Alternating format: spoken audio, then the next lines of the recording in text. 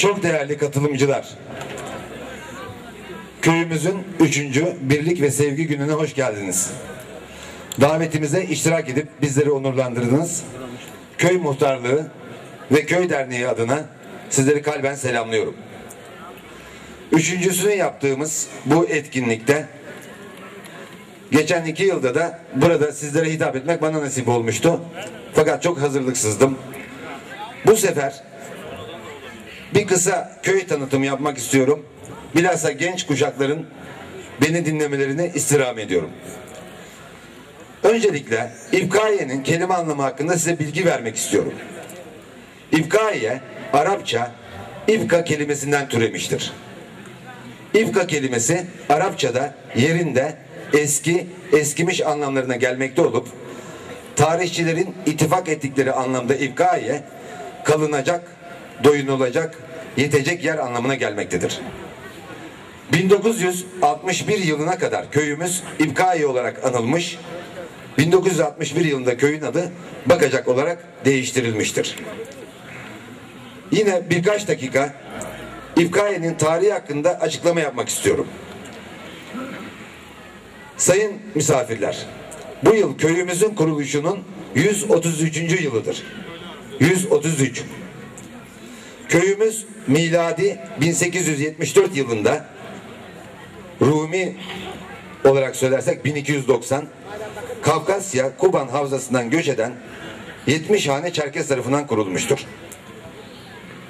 Tarihe meraklı olanlar bilirler ki Kafkasya'nın sahipleri olan Çerkesler için 1864 yılı Büyük Çerkes sürgününün başladığı gözyaşının, zulmün, ölümün sıradan bir hikaye olacağı yılların başlangıcıdır. İşte bu köyün kurucuları 1864 yılında başlayan ve 1900 yıllarına kadar süren ve denizlerde, yollarda açlıktan, hastalıktan kırılan 2 milyonu aşkın insanın sürüldükleri Kafkasya'dan ancak birkaç yüz bininin sağ salim dünyanın değişik ülkelerine dağıtılan kişilerin torunlarıdır. Keza ayrıca Osmanlı İmparatorluğu'nun Ruslarla yaptığı ve kaybettiği 1877-1878 yıllarında gerçekleşen ve tarihe 93 bozgunu olarak geçen savaş sonrasında Bulgaristan'dan göç edenlerin de katılımıyla köyün kuruluş süreci tamamlanmıştır. Demek ki köyümüz hem doğudan hem batıdan gelen halkımızın sayesinde kurulmuş. Balkanlardan gelenlerin de göç hikayeleri o kadar acıdır ki eskilerden dinlendiğinde yürek dayanmazdı. Şahsen rahmetli dedemin kendi büyüklerinden dinleyerek bana naklettiği muhacir hikayeleri içime hep burkmuştur.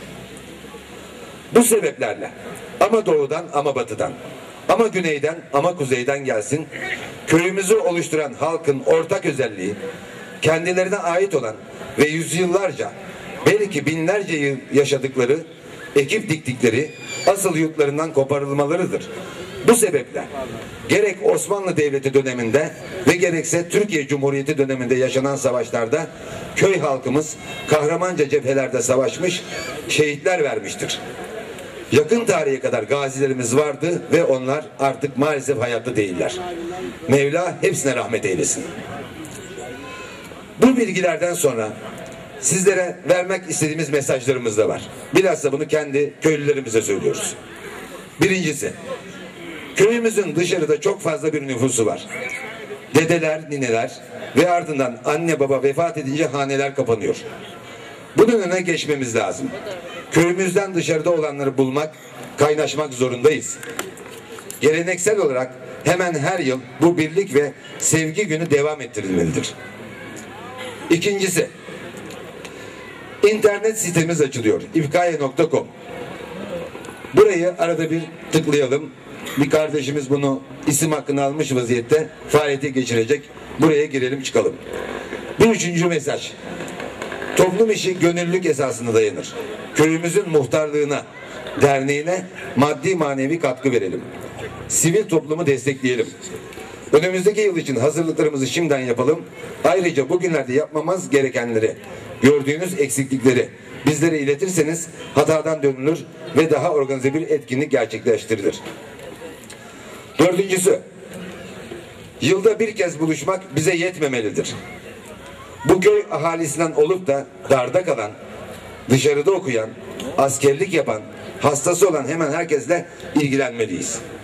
Birlik ve sevgi bunu gerektiriyor.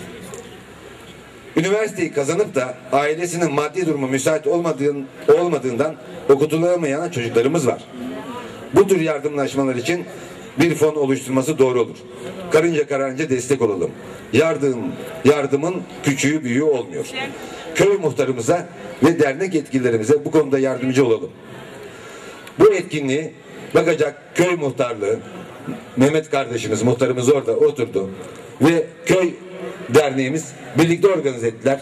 Katkısı geçen herkesten maddi manevi buraya gelenlerden Allah razı olsun. Beni sabırla dinlediğiniz için teşekkür ediyorum. Şimdi